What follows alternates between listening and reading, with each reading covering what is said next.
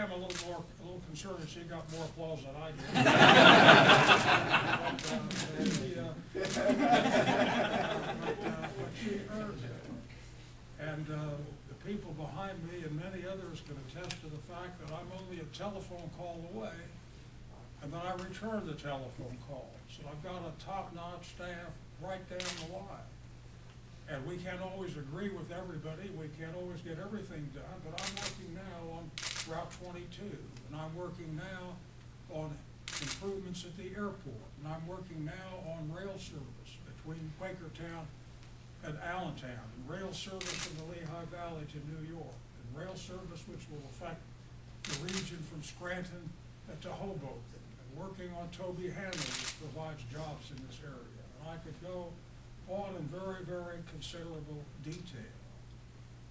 And I have a tough fight on my hands in the primary. Uh, I didn't ask that the field be cleared, and uh, I'm prepared to take on all comers, and I don't take anything for granted.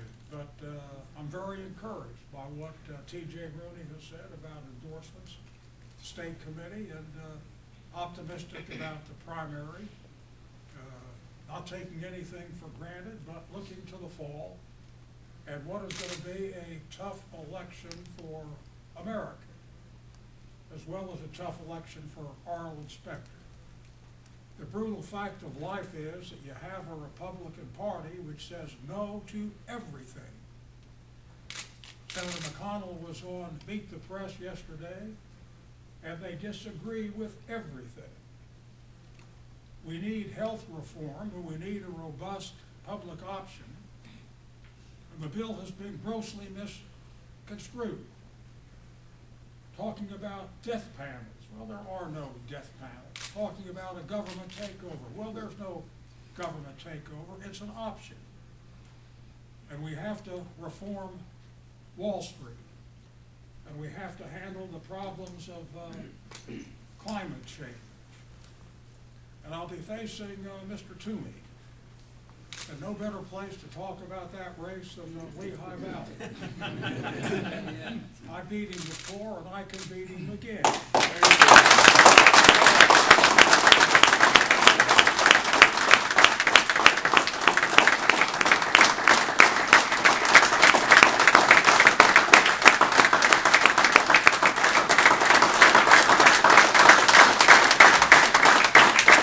Now, I like that round of applause. That, that round applause got more applause than Adrian. did. And I think it got the applause because you know uh, how problemsome a Toomey election would be. You know that in the House of Representatives, for six years, he never voted for one appropriations bill except defense. You know that he didn't do anything for any of the local problems, except to show up when I got money at the ribbon cutting. That was, that was Mr. Toomey's, that was Mr. Toomey's sole participation. And here is a man on fundraising who brags about having a ninety-seven percent voting record from the Conservative Union.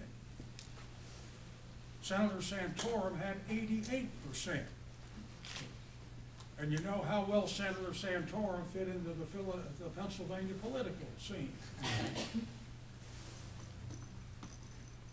Mr. Toomey wanted to put social security funds in the stock market. Now, where would social security be today if they'd been in the stock market? Mr. Toomey says Wall Street does not need any changes. Well, I can understand his saying that, because he's a Wall Street product. And I can stand, understand he wants the billions in social security in the stock market, because it would make him and his friends very, very wealthy. And then about the woman's right to choose. Barry Goldwater, the quintessential conservative Republican of modern times, said, keep the government off our backs, out of our pocketbooks, and out of our bedrooms. But what does Mr. Toomey want to do? on Hardball with Chris Matthews, he said, doctors who perform abortions ought to go to jail.